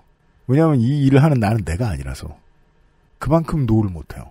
근데 나의 역할 어떤 역할극을 하게 되잖아요. 우리는 다 네. 성인이 되면 어떤 역할극을 하고 그 역할극이 갖고 있는 언어 습관이 있거든요. 음. 어떤 역할은 yes를 되게 많이 해야 되고 어떤 역할은 no를 많이 해야 되고 뭐 이런 네. 역할극이 있는데 사실 no를 하는 건 굉장히 불편해요. 그리고 상대방의 아, 이 앞에서 no를 하는 것도 굉장히 불편한데 어, 손자병법 얘기를 하긴 하지만 제가 사람들한테 가르치는 얘기의 핵심은 정말 no를 할 때 어떻게 no를 할 것인가 하는 거예요. 싸우듯이 할 필요도 없고요. 화를 낼 필요도 없고요. 싫어요라고 단도직입적으로 단어 맞나요? 음. 그리고 자신이 없었어요. 예. 그리고 말을 흐리거나 높일 필요 없는데 많은 이게 남녀 차이가 되게 심한 부분이에요. 이 부분이. 그렇습니까? 여자들이 no를 되게 불편해하고요. 또 싫어요라고 말하고 끝에 흘리거나 웃거나 어, 뭐, 뭐, 뭐 목소리를 올리거나 이런 경우 많아요. 많아요. 그래서 뭐 질문처럼 얘기하다거나 음. 뭐, 뭐 그래서 말이 이상해요. 분명히 노라고 얘기를 하는데 끝에 웃는다거나 아니면 음. 힘을 뺀다든가 아, 그렇죠. 이런 경우가 있어서 네. 연습을 시켜요. 발, 두 발을 땅에 굳건히 디디고 그 다음에 가슴에 소리를 울려서 그러니까 뭐 싫어 이것도 아니고 음. 싫어 이것도 아니고 중간 소리로 싫어 음. 아니야 안 할게 그리고 끝내는 거 근데 끝에 싫어. 안해. 음. 뭐 이런다거나 아 싫어. 뭐 이런다거나 웃는다거나 이러지 않게 연습을 시켜요. 그래서 내가 하고자 하는 메시지가 정확하게 전달될 수 있도록 연습을 시키는 방법을 하는데 어려워요. 남자분들은 훨씬 더 많이 보는 경우는 음. 싫다라고 얘기를 하면서 화를 내요. 굳이 화를 낼 그건 필요 더 없는데. 문제네요. 굳이 화를 낼 필요가 없고 나는 너와 이것을 안 할 거야라는 그 메시지를 전달하면 되는 상황에서 음. 네. 약간 흥분한다든가 몸에 힘이 들어간다든가 싫어서 싫은. 예, 그냥 나는 너를 싫어해 이런 말을 한 아 맞다. 그 싫은 건 다른 거군요. 싫고 또한 싫어. 어, 예, 시- 나는 너도 싫고 네가 하는 행위도 싫고 네가 하자는 것도 싫어 이런 식으로. 현재까지는 그러합니다. 네. 미래의 이 방송을 들으시는 후손 여러분. 지금은 그렇습니다. 어떻게 될지 모르겠지만 우리가 음. 이제 많이 겹치고 만나고 그러고 있지만 어 때에 따라서 네. 나는 화를 낼 필요도 없고 울 필요도 없고 목소리를 흔들릴 필요도 없고 나를 보호하기 위해서 너와 관계를 끊을 거야 라고 말을 할 때가 음. 어, 인생에 한두 번 정도는 오지 않을까 싶어요. 그거보다 많이 올 수도 있습니다. 그보다 더 많이 올 수도 있고요. 뭐 경험해 보신 분들도 계시겠지만 많 그리고 근데 그런 관계 끊어야 될 관계가 많다라면 내가 좀 사람을 사귈 때부터 좀 잘 골라야 되지 않나라는 생각이 드는데요. 그리고 돌이켜서 생각해 보면 그렇게 의연하게 나 자신을 보호하기 위해서 단절을 선언하는 사람은 지나와서 생각해 보면 존경스러워요. 물론 내가 덜, 철이 덜 들었다면 아직도 생각하면 부하가 치밀어 오르고 지가 뭐가 잘났다고 이렇게 생각이 들겠지만 반대로 스스로를 그래- 잘 지켰구나 나로부터. 그래 본 적이 있는데 몇 년 전에 네. 굉장히 독특한 경험이었어요. 그러니까 단절하겠다고 선언을 하고 네. 단절을 했는데 음. 그 순간 내가 그 사람과 어, 관계를 유지하기 위해서 관계를 어, 좋게 하기 위해서 예. 보냈던 모든 에너지가 나한테 다시 돌아오는 듯한 느낌이 들었어요. 음. 굉장히 멋있는 경험이었어요. 저한테는 물론 그 사람한테는 좋았을 리가 없겠지만 그렇죠. 근데 이거는 몇 년 동안 노력을 했던 관계고 처음부터 뭐 싸웠거나 이런 것이 아니라 굉장히 정성 들인 관계였고 마지막에 그 힘을 거둬들이고 음. 그것을 내 몸으로 다시 흡수하는 이런 과정 같았 기 때문에 내가 나를 지켰고 내가 내 편이었고 내가 나 친구였구나. 그 우리가 꽤 많이 놓치는 게 그건 것 같아요. 이 1인칭 시점에서 보이는 게 너밖에 없다 보니까 너를 위주로 헤어짐을 생각하는 거예요. 근데 실제로는 나를 걱정하면서 해보면 이게 경우에 따라 좋은 일인데 저도 그런 경험했던 기억이 나네요. 아 이거 지금으로서는 가장 좋은 선택이구나. 예. 이것도 다 확률 싸움이겠습니다만 아니었을 수도 있지만 아닐 수도 있지만 그래도 노력을 해본 결과이겠죠. 노력을 하지 않고 싸워보지 않고 그렇게까지 가지는 않는 것 같고 충분히 노력하고 충분히 싸우고 나서 내가 나를 지켜야 되는 싸움을 해야 될 경우는 나를 지켜야죠. 너무나도 유명한 손자병법의 대목 중에 두 가지 정도를 어, 들 수 있는데 이 책 안에서 너무나도 유명한 이야기입니다. 그게 뭐 전략가든 정치인이든 뭐, 뭐 직장에서 뭐 그 열심히 일하는 사람들이든 누구든 정말로 나 자신에 대해서도 알고 상대방에 대해서도 아는 사람들은 잘합니다. 승률이 극히 높습니다. 근데 이 실패한 관종처럼 보이는 사람들은 상대는 아는데 나를 모릅니다. 그래서 승률이 절반이에요. 근데 승률이 절반이니까 흥행은 돼요 또. 그래가지고 인기는 있어요. 전 이 책에서 그 내용이 정말 오랫동안 곱씹어 보게 되고 아직도 곱씹어 보게 되는 내용이 그건데 승리는 상대한테 달렸지만 그러니까 이기고 지는 건 상대한테 달렸지만 지지 않는 건 나한테 달렸다. 그 말이 저는 굉장히 인상적이었어요. 네. 뭐 남의 책 독후감처럼 말씀하세요. 아, 네, 남의 책 독감 맞습니다. 그 손자병법을 그렇죠. 네. 손자병법은 정말 정말 싸움의 기술 안에도 들어가 있습니다. 네, 예, 예. 네. 손자병법의 내용이 나오는 얘기인데 스포츠에서 아마 그런 경우가 많을 거예요. 정말 고수들끼리 싸움, 정말 금메달리스트끼리 싸움을 보면은 내가 잘해서 이기는 것이 아니라 상대방이 실수해서 이기는 거거든요. 49대 51로 지면 뭐 울 수도 있죠. 음. 그때 울 때는 아직 경기의 감정에서 빠져나오지 못했을 때에 나오는 인데 그게 아니고 그 감정을 빠져나오면 또 기분 좋아하죠. 네. 최선을 다해서 나온 최선을 49대 다했으면. 51이니까. 네, 최선을 다했으면 그러죠. 근데 1대 99로 지면 내 탓이 크죠. 그죠? 네. 그 단판 경기가 아니더라도 시즌을 치르는데 똑같은 프로들끼리 어, 올해 꼴찌를 했는데 내년에 리빌딩이 될 것 같은 팀이 있습니다. 음. 답이 안 보이는 곳이 있는가 하면 완패하는 건 내 문제. 그래서 그 요즘은 이제 그 관람 문화에서 레드넥이 이제 승질을 내고 욕을 하는 그런 모습은 많이 사라졌어요. 2000년대까지만 해도 많았어요. 근데 그 본인이 패배자라는 느낌을 지울 수가 없었거든요. 이제 옆자리 옆에서 응원을 하는 팬의 입장에서 야, 저 팬은 스스로 계속 패배하고 있네. 자기가 사랑하는 이 스타들을 보러 와가지고 저도 결국은 가장 많이 기억에 남는 문장은 그겁니다. 이기는 건 뭐 내 운이 많이 따르는데. 그러죠. 네. 지는 건 내가 관리할 문제. 지는 건 나한테 달렸고 패배는 내 영역 안에 있네요. 네, 패배는 내 영역에 있고 싸우려고 작정을 한다면 어, 싸우기 전부터 패배한 경우들이 있어요. 그런 데는 싸워봤자 소용이 없는 경우죠. 왜냐면 내가, 어, 피해의식이 많거나 그런 상태에서 싸우면 나는 계속 피해자일 수밖에 없고, 패배할 수밖에 없고, 그럴 때는 정말 싸우겠다고 작정을 하면, 어, 손자방법에서 하는 얘기는 이미 이기고 싸우라는 얘기거든요. 이미 이기고 싸운다는 것은 내가 패배할 것을 염두에 두고 싸우거나 내가 진 사람의 mentality를 갖고 싸우는 것이 아니라 나는 무슨 이, 이, 이 싸움에서 이제 자기를 싸운 사람 싸움은 이럴 것 같아요. 어떤 상황이어도 나는 나를 포기하지 않는다. 나를 어 놓지 않겠다. 이런 강한 mentality가 필요한 것 같아요. 싸우겠다 작정을 한다면 그러면은 이기지 않을지는 모르겠지만 당하진 않을 거예요. 싸움을 좋아하는 사람은 저는 없다고 믿습니다. 무인의 말씀처럼. 그럼에도 불구하고 아드레날린 정키처럼 보이는 사람들이 있어요. 네. 그냥 싸워야지 하고 달려드는 것 같은 사람들이 있어요. 그런 사람들의 문제는 병장기가 준비가 안 돼 있어요. 네, 암호가 없어요. 그러니까 이길 싸움인지는 모르겠지만 그냥 하는 네. 그거는 싸움에 대해서도 무책임하고 상대방에 대해서도 무책임하고 특히나 패배를 나중에 경기가 끝난 다음에 관리해야 되는 자기 자신한테 꽤나 무책임한 일이군요. 네.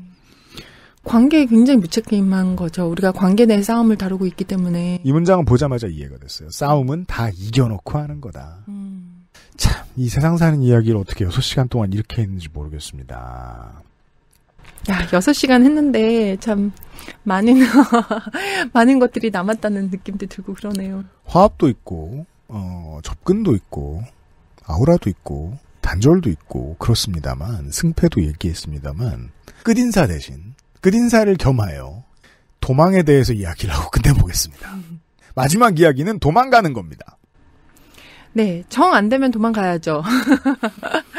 도망가야 되는데 우리가 싸움에 대해서 이런 생각을 많이 해요. 싸움에 일단 들어가면 끝까지 싸우는 것이 옳다라고 생각을 하고 그리고 싸우고 있는 와중에 우리를 움직이게 하는 에너지가 이제 막 올라오기 시작하기 때문에 물러서는 게 잘 안 되기도 해요. 음. 그럴 때 손자병법에 이어서 우리가 좀 영감 받을 수 있는 게 이 36개 네. 도망간다가 아닐까 싶습니다.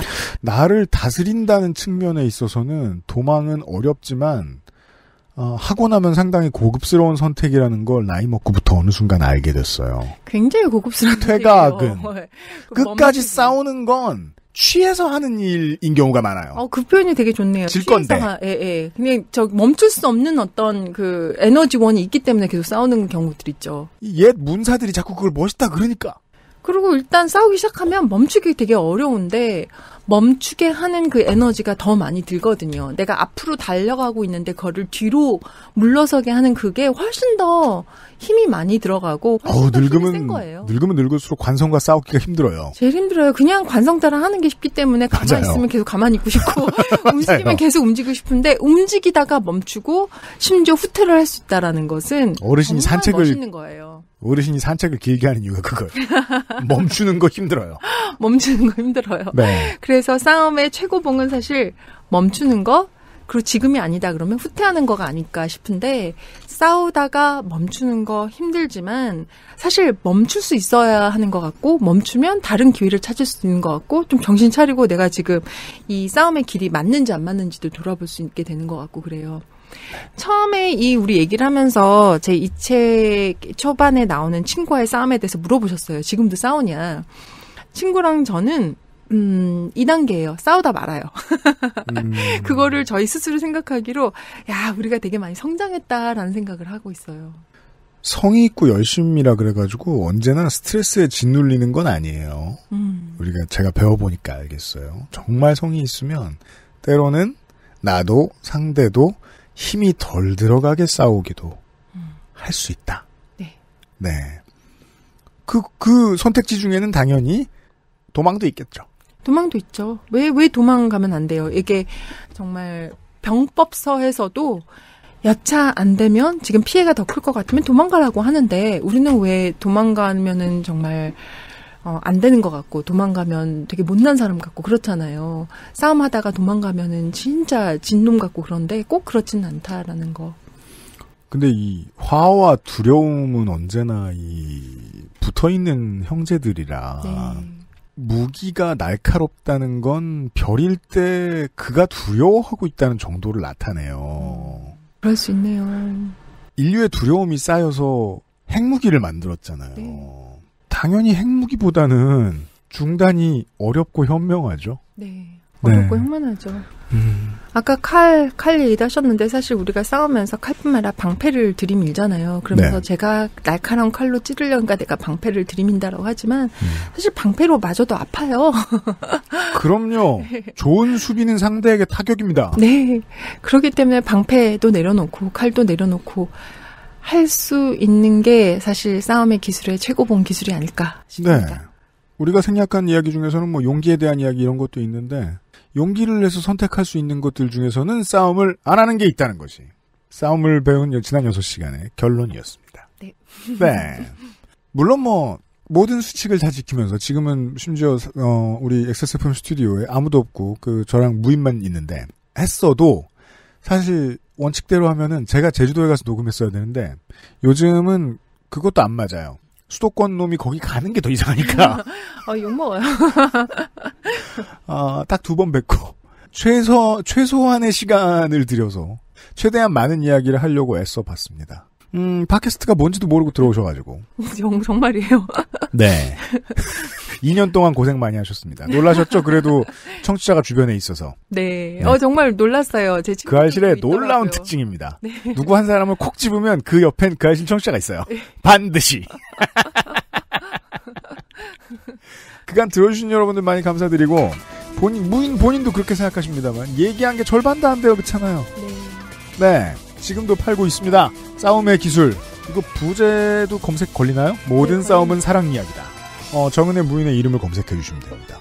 더 자세한 이야기들을 확인하실 수 있습니다. 어느 서점에서 사셔도 되고요. XS몰엔 안 팝니다.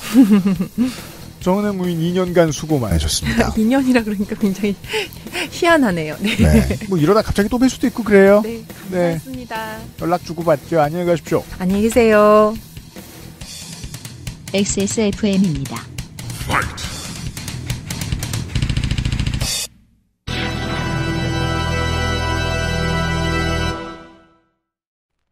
Maestro pasticcere. La pasticceria. La Pasticceria는 이탈리아 마에스트로에게 직접 수학한 pasticcere가 전통의 방식 그대로 최고의 재료와 함께 구우는 천연 발효 빵입니다.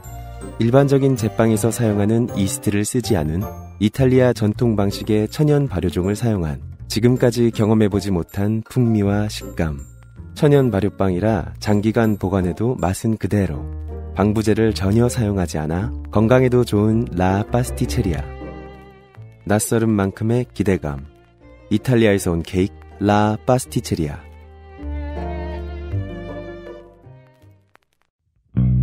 개발자가 직접 생산하고 개발자가 직접 답하고 당신의 삶이 조금 더 깨끗해질 수 있게 진짜 청소를 하자 반려세제 깨끗한 생각 아스트랄 뉴스 기록실 뉴스 아카이브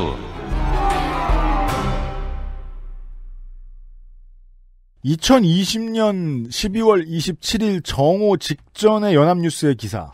제목은 텅 빈 쇼핑몰. 서울 지역의 한 대형 쇼핑몰을 찍었습니다. 아, 정말로 썰렁해요. 음. 같은 날 오후 3시 지나서 나온 아시아투데이의 기사. 복합 쇼핑몰 백화점에 인파 몰려 구멍난 방역. 서울 지역의 똑같은 대형 쇼핑몰을 똑같은 위치에서 찍었습니다. 정말요? 사람이 겁나 많습니다. 어떻게 똑같은 위치에서 찍을 생각을 했지? 예측되는 곳은 신세계 영등포점입니다. 다급하게 잘 보이는 문으로 들어갔을 때 타임스퀘어에서 사진 찍자라고 폼 잡으면 나오는 위치가 거긴가 봐요. 연합뉴스 기사 기자는 이 경제가 망해가고 있다는 메시지를 전달하기 위해서 일부러 백화점 오픈 직전 혹은 직후에 사람이 많기 어려운 타이밍에 촬영을 한 것 같아요.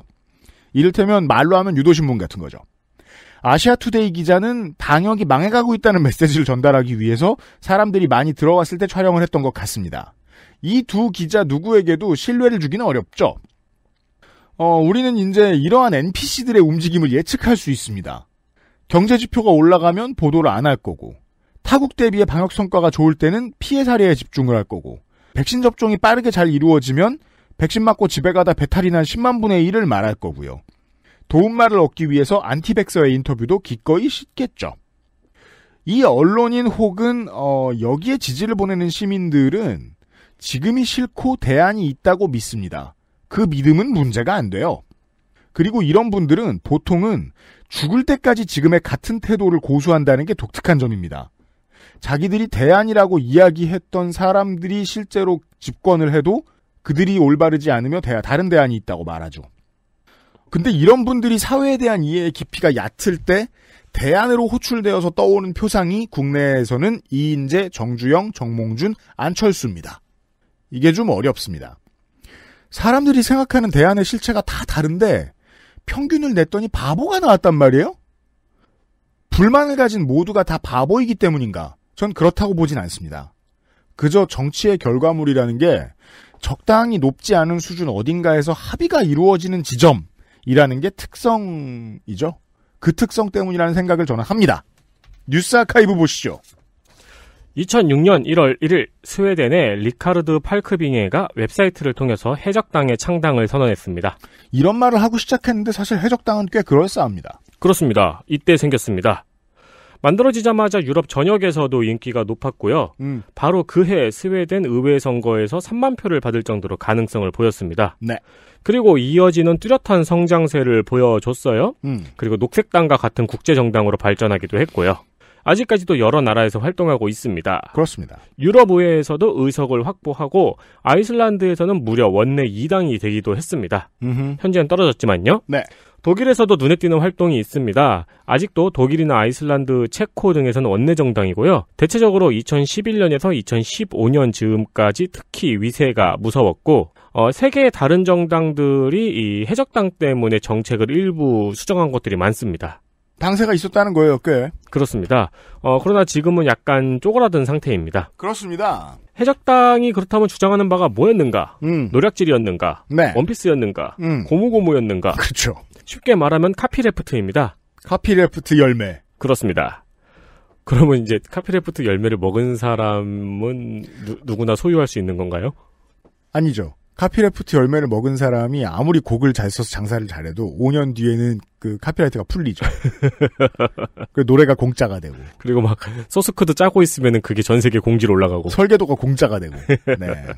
다만 이 copyleft 해적당이 주장하는 copyleft는 리차드 스톨만이 주장하는 방식과는 다릅니다.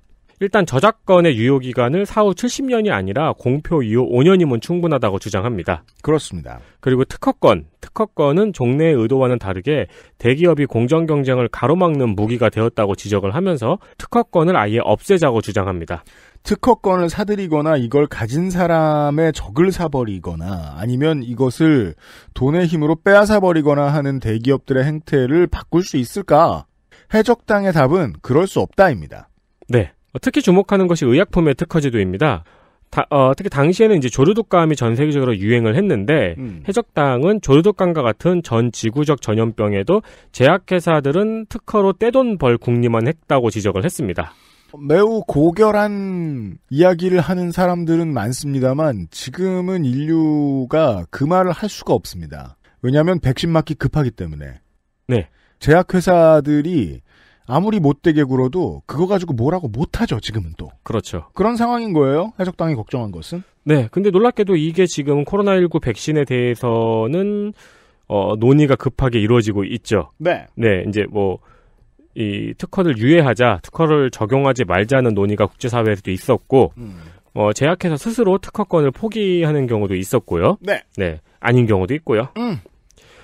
어, 여담으로 2010년도 이때쯤에 해적당이 특히 유명했었는데, 우리나라에서도 많이 뉴스가 나왔었죠? 음. 그래서 이제 국제적으로 크게 화제가 되었을 때, 한국의 해적당의 가능성을 점치는 기사나 오피니언, 이제 이런 게 많았었어요. 네. 네. 그때 이제 한국의 해적당이 생긴다면 그 당수로 누가 좋을까라고 했을 때 주목을 많이 받았던 사람이 안철수 대표였죠.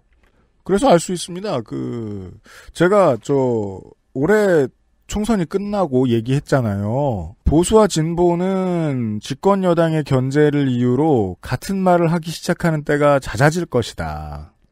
같은 이유로 보수와 진보가 한 목소리를 낼 때가 있어요. 네. 대안을 원할 때.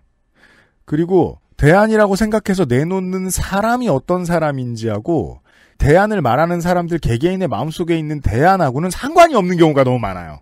지금 와서 우리는 안철수라는 정치인이 얼마나 컨텐츠가 없거나 아니면 정치적인 그 정관이 없는 사람인지를 알기 때문에 얘기할 수 있는 건데요, 드디어. 사람은 텅 비어 있어도 돼요. 새로운 사람이기만 하면 되고 그냥 자기가 이야기하고 싶은 대안들을 사람마다 다 집어넣는 거예요. 그러면 속이 꽉 찬 어떤 자루가 되죠. 그게 안철수가 아니어도 좋아요. 겁나 공허합니다. 음. 이루어질 수 없는 꿈들을 담아놓은 자루가 되는 거예요. 해적당도 그러한 인류의 시도들 중에 하나였습니다. 그게 괜찮으면 어, 이쪽에서 나오는 말하는 대안들이 괜찮으면 트레디셔널한 정당들이 받아줍니다. 네. 네. 트레디셔널한 정당들이 무조건 답이라고 얘기하는 게 아니에요. 인류는 또 고를 만한 때가 되면 도를 고르겠죠. 하지만 버리고 싶으면 버린다고요. 해적당과 비슷한 많은 사례들이 있습니다. 14년밖에 안 됐는데 해적당에 주목했던 기억을 떠올리시는 분들도 계실 겁니다. 음. 에디터가 말씀드려가지고요. 다음은요. 2018년 12월 27일의 뉴스입니다. 음. 국방부에서 병사들의 휴대전화를 허용했고 네. 평일 외출 외박 지역 제한을 폐지하기로 발표했습니다. 이게 많은 분들이 걱정했어요. 사람들이 지금의 군인들을 혐오할까봐. 네. 지금 와서 생각하는 건데요. 군인들을 혐오할까봐 걱정하는 사람들이 실제로 지금의 사병들을 혐오하는 사람보다 더 많았던 것 같아요. 어, 맞아요. 이 뉴스를 보면서 우와 좋겠다 했던 건 진짜 기분이 좋아서였어요. 제가 마치 제가 다시 사병이 된 것처럼 우와 좋겠다 잘 됐다가 다였어요. 사병으로 군 생활을 하신 분들이 아니어도 많은 분들이 그러셨을 거라고 생각합니다. 기본 인권이 늘어나면 반가워하는 사람들이 전 더 많다고 믿어요 언제나 믿어요. 근데 저는 이때 이때 살짝 솔직히 좀 놀랬어요. 왜요? 원래 예비역들은 특히 병장들 전역하기 전에 훈련 빡세게 해달라고 전역하고 네. 그 소원수리 쓰고 전역하고 예비역들은 장난 삼아서라도 뭐 아 요즘 군대 편하네 이런 얘기하고 놀잖아요. 음. 근데 이 기사 떴을 때 그 당시에도 댓글 뭐 커뮤니티나 기사 댓글을 보면은 많은 사람들이 아 그래 저렇게는 해줘야지 잘 됐네 저런 건 해줘야지 이런 식의 댓글이 줄을 잇고 있는 거예요. 네. 어, 내가 알고 있는 예비역 사람들이 아닌데 싶은 생각이 들어서 네. 좀 놀랬었어요. 사람들은 믿어도 됩니다. 네. 실제 시행은 몇 달 뒤에 됐고요. 처음에는 다소 놀랐었는데 이제는 익숙하죠. 그렇죠. 네. 특히나 이제 엄마 아빠들과 그 청년층 위주로 익숙하죠. 그렇죠. 사실 가장 안 익숙한 게 제 나이 또래들일 거고. 네. 네. 왜 그 게임하다 보면 이제 열실하고 나가야 된다고 군인들이 음. 우수수 빠지는 순간들도 있고. 그렇죠. 네. 그리고 이제 병 내에서 부조리들이 또 획기적으로 줄었다고 해요. 그렇습니다. 네. 커뮤니티를 고립시키지만 않으면 미친놈은 현저히 줄어듭니다. 네. 네. 그뭐 그런 얘기도 있었어요. 이렇게 막 와이파이나 데이터 셔틀이 될까봐 걱정이다. 음. 이런 지적도 있었는데 네. 다 그냥 무제한 쓴대요. 당연합니다. 당연하죠 생각해 보면. 네. 그리고 1년이 지나서 효과를 한번 확인해 봤더니 음. 영내 폭행이나 군무 이탈, 성범죄, 부적응 등이 엄청나게 감소했습니다. 엄청나게 감소했습니다. 물론 미래의 언론은 그럼에도 존재하는 군무 이탈, 영대폭력, 성범죄를 이야기할 겁니다. 하지만 숫자로 비교해보면 상대도 안 될 거라고 저는 믿고요. 네. 어, 미친놈에 대해서 제가 말씀드렸는데, 처음에 한동안 미친놈이 많으면 언제나 소수자에서 그 색출을 하려고 애를 쓰게 마련입니다. 음. 그래서 국내의 성범죄도 성소수자를 탓했어요. 하지만 성범죄는 성소수자가 일으키는 게 아닙니다. 강간범이 일으키는 거죠. 네. 줄어요, 자유를 주면. 그리고 왜 군대 있을 때 사고 사례 매달 뉴스 나오는 거 보셨어요?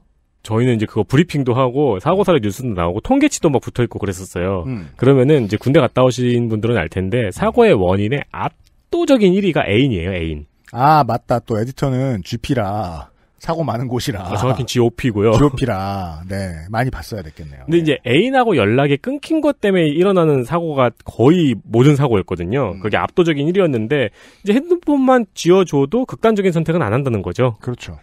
그리고 단점으로 지목된 부분은 도박과 보안 위반이라고 합니다. 네. 어, 근데 장점이 훨씬 크고 애시당초 보안 위반이랄 거는 조금 의미가 없는 게 병들이 다루는 보안이 그렇게 중요한 보안이 아닙니다. 그렇습니다. 당연한 얘기겠지만. 네. 그리고 또 고칠 수 있는 문제들이고요. 네. 네. 어, 장점이 훨씬 커서 전체적으로 반응은 호의적입니다. 네. 하지만 이것을 여전히 불만을 가득한 눈으로 바라보고 있는 사람들도 있을 수 있습니다. 입장상. 네, 휴대폰 사용과 더불어 위수 지역도 폐지를 했죠. 음. 그래서 주변 상권은 여느 때와 같이 목소리를 높였습니다. 네. 위수지역 폐지에도 반발을 하고 장병들이 화상통화 때문에 외출 외박을 안 나와서 매출이 줄었다고 휴대폰 사용 시간을 줄여달라는 요청도 있었습니다. 네. 화천과 양구는 아예 군부대가 해체됐죠. 그렇죠. 그래서 지역 경제에 큰 타격이 있었는데 이런 왈가왈부가 올해 코로나19로 다 덮였죠. 그렇습니다. 그리고 지역 경제 문제는 지역의 또 다른 숙제가 되었습니다. 그렇습니다. 이건 결국은 뭐 지역민과 지역 정치권의 숙제일 수밖에 없다고 생각합니다. 네. 지역 자본과 화천이라고 얘기를 해보죠. 토마토 축제와 산천어 축제만으로 이 위수 지역이 벌어들이던 돈을 다시 벌어들일 수는 없다. 그럼 그렇다고 해서 어, 위수 지역을 다시 정한 다음에 다시 그동안 병사들에게 주었던 자유를 다 뺏어갈까? 그것도 전혀 옵션이 되지 않잖아요. 그렇죠. 네. 세상이 발전하고 있다 보면 망하는 상권이 있죠. 어, 붙잡을 수 있는 버스는 아니죠. 네. 이런 류의 진보는요, 환영을 받지도 않습니다. 왜냐면 나빴던 게 좋아지는, 그러니까 정말 나빴던 게 좋아지는 것은 모르겠습니다. 제 경험에 의하면 이상하게 환영받지 않아요. 딱히 시끄럽게 퍼레이드 해주는 곳이 없어요. 음. 그리고 많은 문제들을 해결합니다. 네. 문제들이 해결되었으므로 보이지 않습니다. 대신에 어, 에디터가 알려드린 대로 문제 해결이란 아, 낮아지는 범죄율, 낮아지는 부정적 지표 같은 것들을 뜻하거든요. 그렇게 우리 사회에 돌아올 뿐입니다. 예. 네. 한국 남성이, 그러니까 사회 구성원으로서 한국 남성의 크나큰 변화가 된 계기가 지나간 지 2년이 됐습니다. 그리고 이제 이것과 더불어 요즘에는 평일에도 외출을 나온다고 하더라고요. 네. 일과 시간 끝나면. 네. 그 저희 기사를 정리하면서 생각해 본 게 이렇게 되면은 어 말뚝박을까라고 생각하는 사람들도 많아지겠다 싶더라고요. 그러다 보면 또 자연스럽게 모병제로 갈 수도 있겠네 싶더라고요. 아, 군을 좋은 직장으로 만드는 길 중에 하나입니다. 네. 뉴스 아카이브였습니다. 어, 이번 주에 그것은 알기 싫다를 이렇게 마무리했고, 2021년에 그것은 알기 싫다를 이렇게 열었습니다. 네. 이상하죠? 저희는 녹음하는 시점에 아직 2020년입니다만. 엄청 추운 그날입니다. 근데 하나 그건 있습니다. 그 청취자 여러분들 그 추위 대비를 잘 하셔야 되고, 당연히. 네. 동파 조심하셔야 되고. 네. 주의하실 거참 많잖아요? 그것만 되면 저는 기분은 좋았습니다. 겨울에 추워야 된다는 사실을 우리가 2020년 여름에 아주 배- 많이 배웠잖아요. 음, 그렇죠. 어찌 보면 이렇게 생각할 수도 있습니다. 겨울에 추웠던 곳이 10년 후, 20년 후에 예전처럼 계속 춥다는 건 인류가 지구를 지키는데 성공하는 중이다. 라고 생각해야 됩니다. 음. 그랬으면 좋겠네요. 이게 그냥 이렇게 왔다 갔다 하는 게 아니고. 그니까 말입니다. 네. 아, 한 가지 제가 마음이 쓰이는 거는 뭔데요? 그 요파 시 사형 단 당첨자에게 아까 커피를 보내드렸거든요. 아, 네. 더- 커피 비누에서 더치 커피를 보내드리죠. 얼까봐. 받으셨을 때 살짝 얼 수도 있습니다. 그게 좀 걱정이 되네요. 네. 하지만 큰 문제는 없으므로 적당히 냉장실에 넣어서 드시고요. 네. 예. 395회에서 문제없이 다시 인사를 드리도록 하죠. 그것은 알기 싫다였습니다. 수고해주신 정은혜 무인께도 다시 한번 감사를 드리고. 감사를 드리고. 사실은 그때그때 녹음할 수 있었으면 더 좋았는데, 시절이 시절이라 정말 못 뵀거든요. 네. 친해지느라도 만나고, 뭐 이것저것 많이 해요, 섭외할 때. 그리고 끝나고도 뭐, 뭐, 저 술 잘 드시는 분은 뭐 엄청나게 한잔하고, 뭐, 그, 최선을 다해서 많이 만나거든요? 네. 근데 진짜 못 만났어요, 정은혜 무인은. 상황이 멀쩡해지는 때가 오지 않을 수도 있지만, 음, 만약에 허락이 된다면, 아, 나중에 제주도 가서 인사드릴 거고. 여러분들은 무인의 이야기를 책을 통해서 만나보실 수 있습니다. 아, 여기서 못다한 이야기는 책 싸움의 기술을 통해서 확인해 주시고요. 많이들 사셨더라고요. 아, 그래요? 네. 사셨다는 이야기가 많더라고요. 도움이 되셨기를 진심으로 바랍니다. 바랍니다. 저는 농담이 아닙니다. 아, 청취율과 무관하게 언제나 제 평생을 바쳐서 하고 싶었던 얘기들을 들어놓잖아요. 그것은 알기 싫다 해서. 진짜로 오랫동안 하고 싶었던 이야기 중에 하나를 정은의 무인을 통해 나눌 수 있어서 저는 좋았습니다. 394회 그것은 알기 싫다였습니다. 다음 주 이 시간에 옛 얼굴 새 이야기와 함께 돌아오겠습니다. 윤세민 에디터와 유승균 PD였습니다. 고맙습니다. 좋은 새해 되십시오. 감사합니다. XSFM입니다. I D W K Flawless victory.